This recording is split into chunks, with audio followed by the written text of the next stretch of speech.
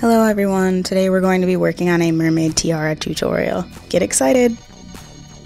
So the first step is to use a cake dummy. As you can see I've got a 4 inch cake dummy and it is wrapped in parchment paper. Behind that parchment paper is a piece of paper that has a crown template on it. I just have that template on the back so I can make sure that all my pieces are staying proportional to the other side. So what I'm doing right now is applying a liberal coat of shortening to the parchment paper. This is just so that the fondant will stick to it when I put it on there and it won't move around. And then as you can see, I've got um, some sewing pins and toothpicks in the back of that dummy just so that the parchment paper stays on and that I can prop up my dummy on the side as it is sitting right now. So what you see me doing now is rolling out a thin log Right in front of me is this Wilton mold. You can buy this mold on the Wilton website, Hobby Lobby, Michaels, really anywhere that sells the Wilton mold sets. And so I'm going to use the skinny border, and I'm actually going to do this twice. I do this twice because when you pull your fondant out of this mold, it's actually kind of thin. I want it to be able to support the entire tiara, so I actually go over it twice.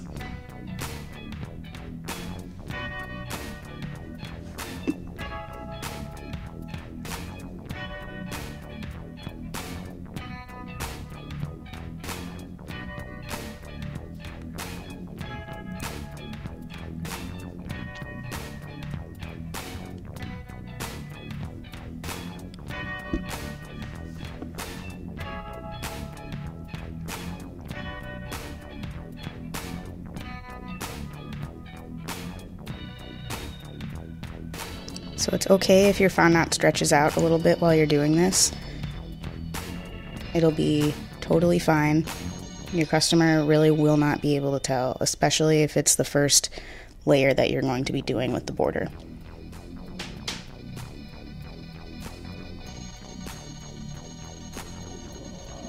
As you can see, I just apply it to the bottom of my dummy and I just push down on the dummy so that I make sure that it is going to be flat on the bottom. So here I go with my second strip. And like I said, I'm just going to use some Tylose glue and I'm going to apply that second border right over the top of my first one.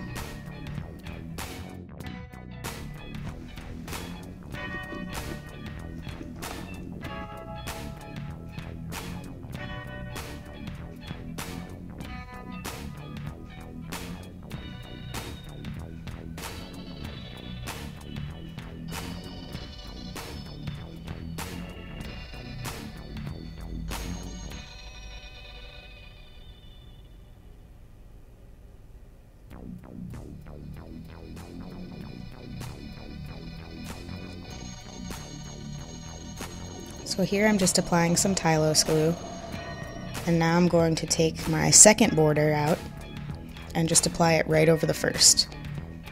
I like to alternate so that the large circles on the bottom or the first layer are behind the thinner parts.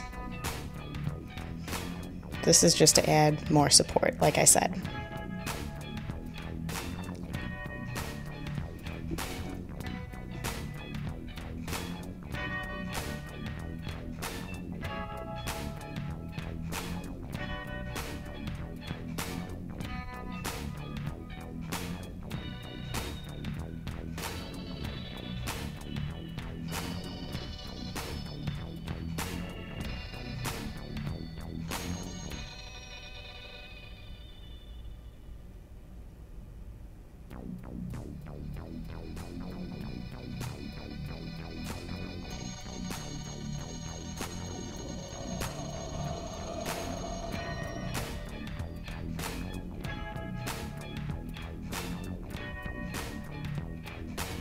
So as you can see, I'm just lining up the circles to make sure that they are in the thinner parts, just to give a little more support.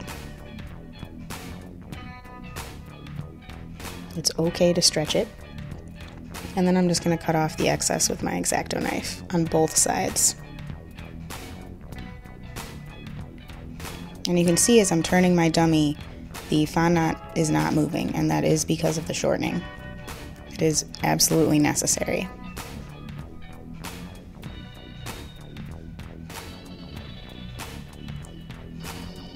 So now we're going to work on the centerpiece. And for that, we're just going to roll some long tapered logs.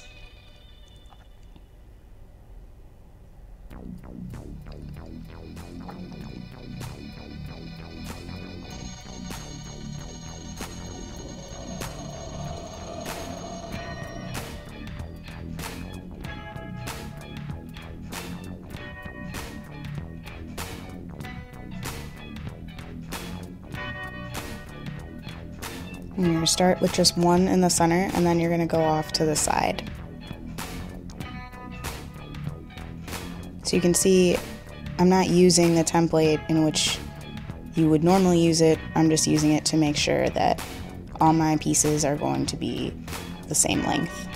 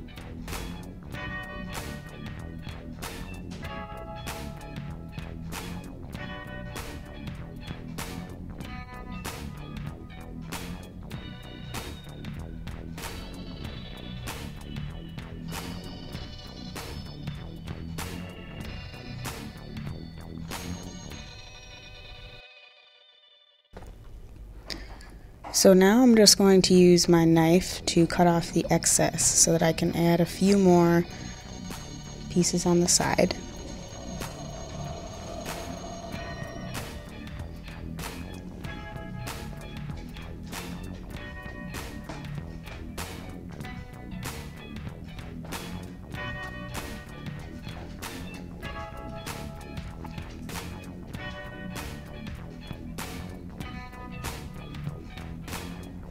Just going to roll one or two more little logs for the sides.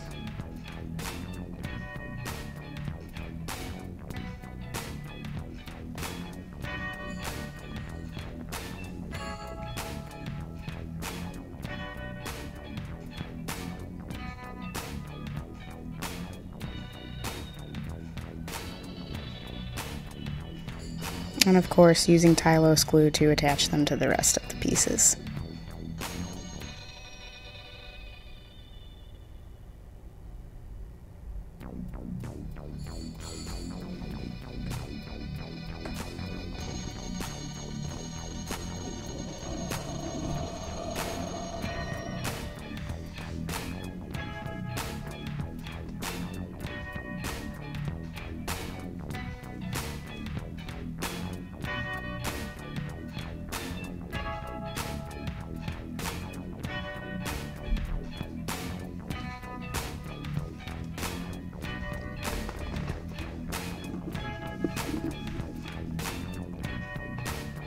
And again using my knife to cut off the excess pieces of fondant.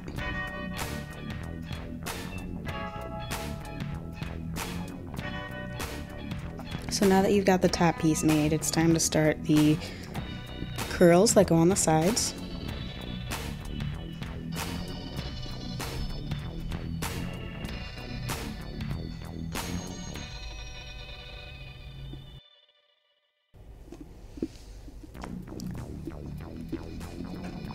So for the large curls to the side, we're going to roll some long tapered logs again.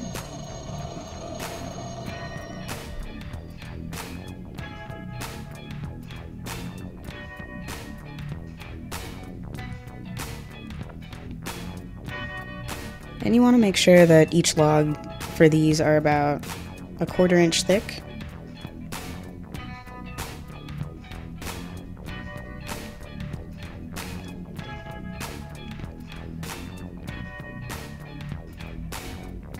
So then we're going to curl the tapered end of the log.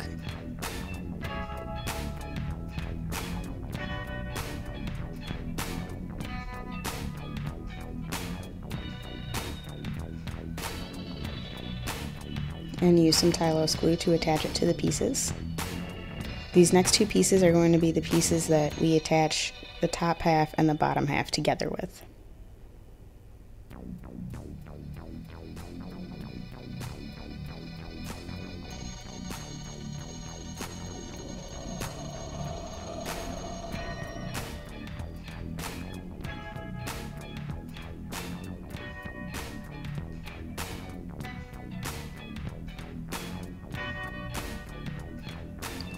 Go ahead and roll our second log, tapering it to one side. And again, just like the first one, we're going to roll in the point to create a little curl.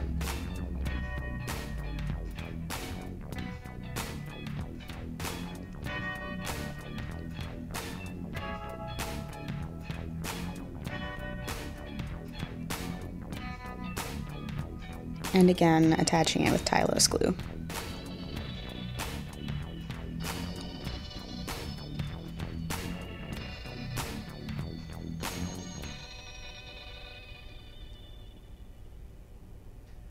Make sure you press firmly when you are attaching your new pieces. You really want to make sure that they're not going to move around and that they're stuck onto the right spot you want them to be in.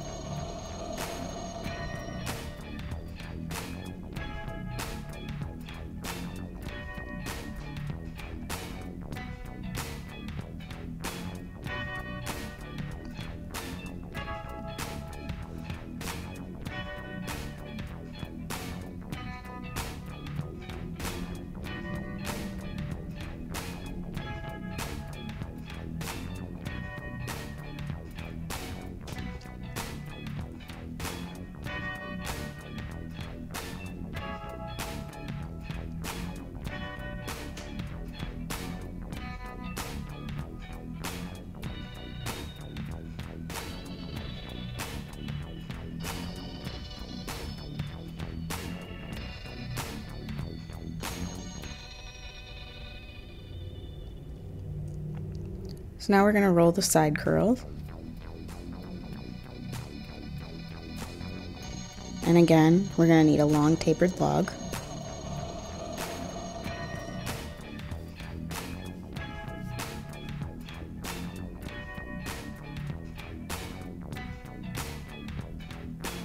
And we're going to curl the end in. And we're going to apply it directly underneath the other curl that you just made.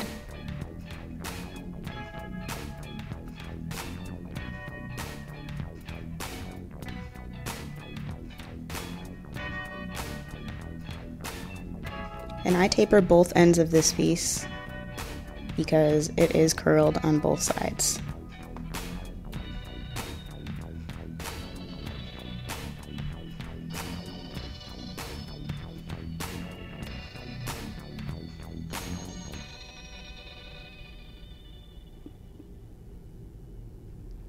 And it is okay to squish your little tapered end in there you're actually going to be covering up parts of it so you won't even notice that it's a little squished. So now we're going to do the other side exactly the same. And don't forget, if you think your piece isn't the right size or it's not the same, you can always hold it up to the other side and make sure that it is correct.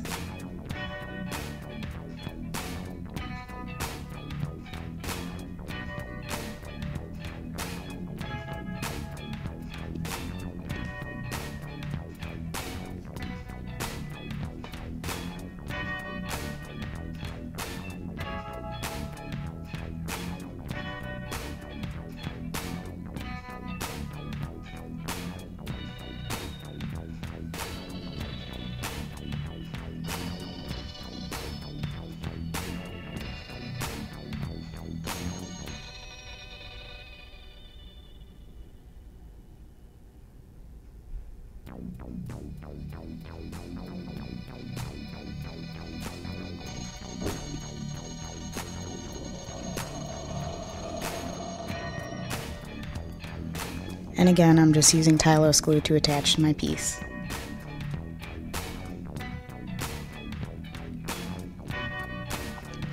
Just like the previous side, you're going to squish your little curl in there.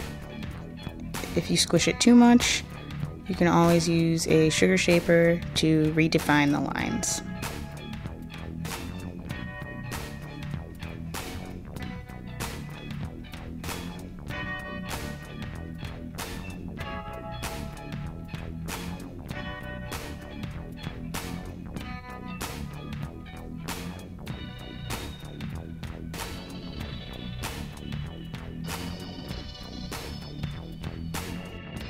So right now we're using a shell mold. This shell mold is up in my Etsy shop, but you can use any shell mold you like.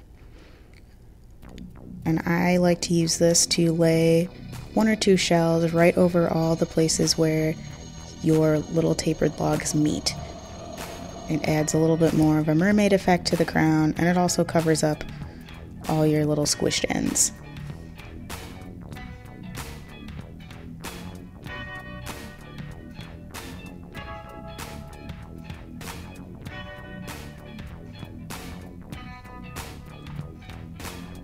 We'll make one more and we just lay it right over the bottom edge of the first shell that you just made.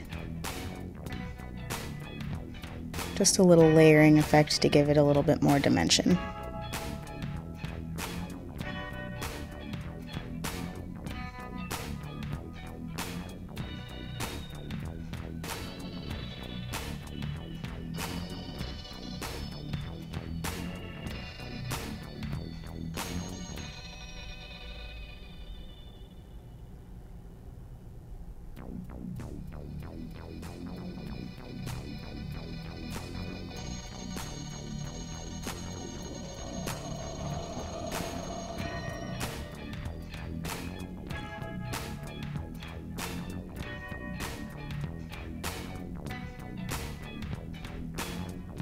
We're going to lay it to the side as well.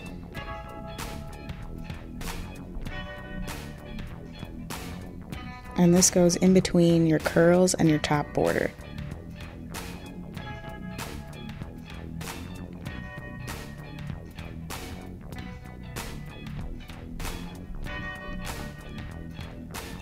I know there's a little skip there, but I just used my Wilton mold to make the starfish. I used the larger starfish of the mold, and then I just applied it using Tylose glue.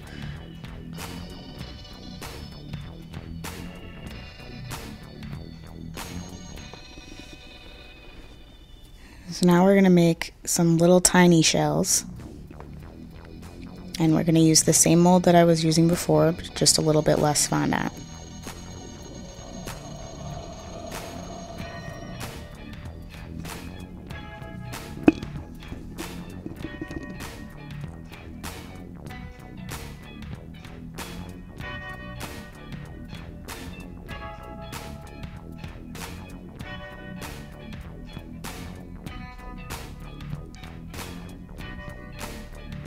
These tiny shells are actually for the ends of your crown.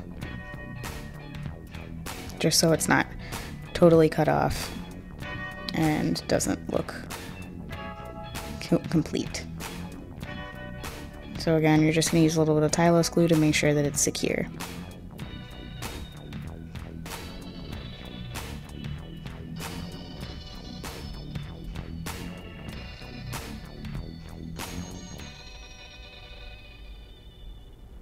And of course, you're going to do that for both sides of your tiara.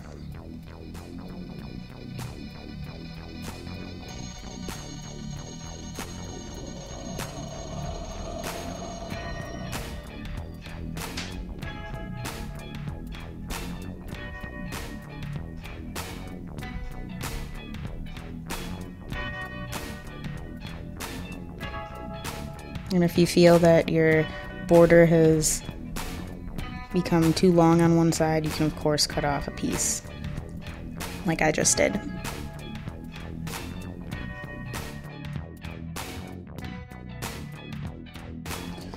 So I've waited for my piece to dry for a few days, and now I'm taking out all the pins and toothpicks so that I can take my dummy out and fully paint my piece gold. Now I use pins in the back of my dummy because I find it is much easier and I don't have to worry about where the pins are. Whereas toothpicks, I need to make sure that the toothpick isn't going to be in my way. So to pull my dummy out, I just stick a toothpick in and then I pull right out. And your crown and parchment should stay stuck basically to the table. And you're just going to slowly peel your parchment out. Now remember there is shortening on it, so that is why your fondant wants to stick to it, but if you work slowly and carefully, your piece will not break.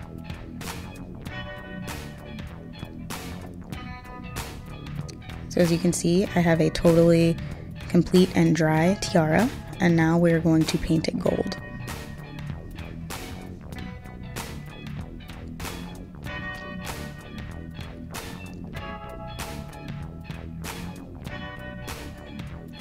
Paint it gold, I'm just using edible gold dust and vodka. And I use vodka because it dries faster than water does. You can, of course, use any alcohol because it dries faster. And then the only thing that you really need to watch for is if your paintbrush is fond of shedding bristles, just make sure you're not getting any bristles into your piece because you will be able to see them.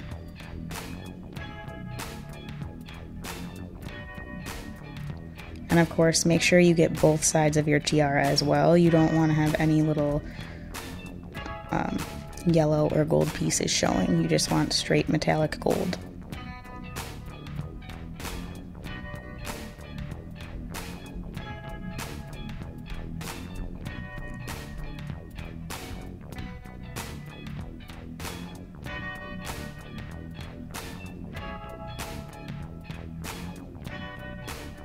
And then make sure you get down on the crown's level and really look into all the little cracks and crevices because it is very easy to miss a little section.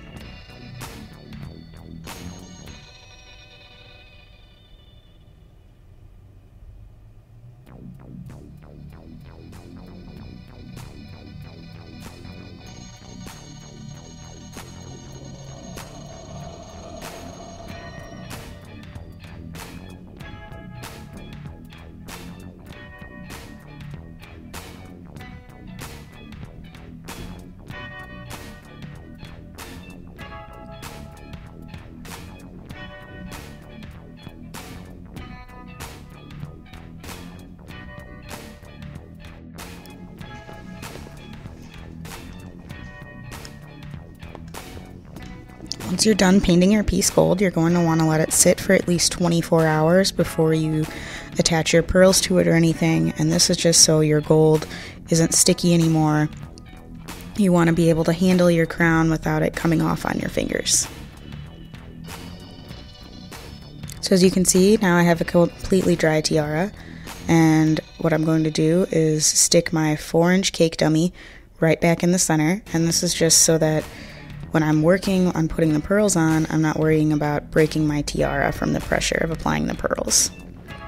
And then just like how we had it before, we're going to set our toothpicks into the sides so that it's not moving around.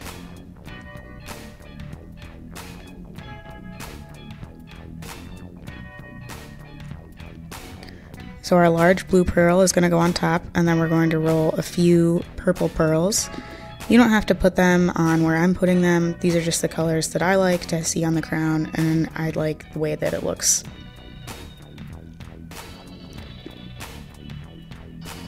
So I like to put the purple pearls in the intersections. Adding on the purple really just gives it a nice pop of color. And then of course you're going to use Tylose glue to attach them.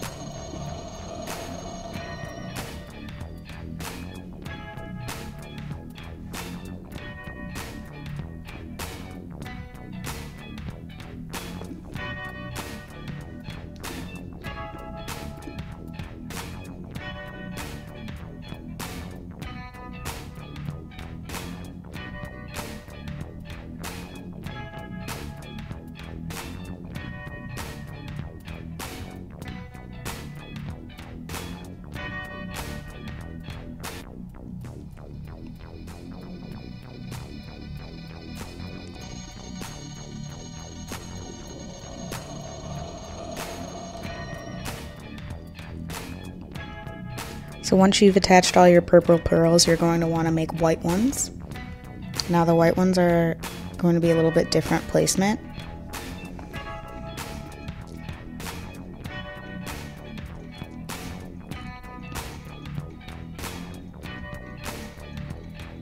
We're just using our knife to cut even pieces so that they're all the general same size and we're going to roll them into little balls, just the same as the blue and purple pearls. Now we're going to put one underneath the middle purple pearl, using Tylose glue to attach it, of course.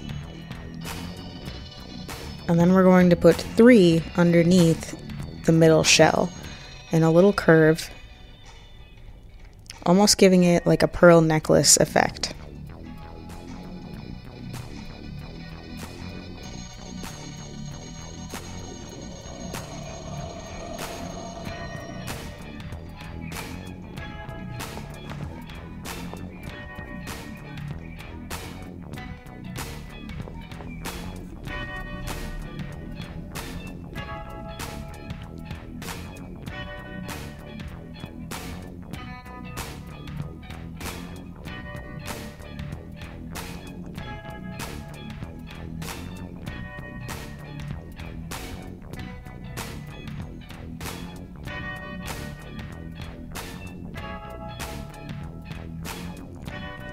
And we're also going to put two white pearls next to the starfish as well.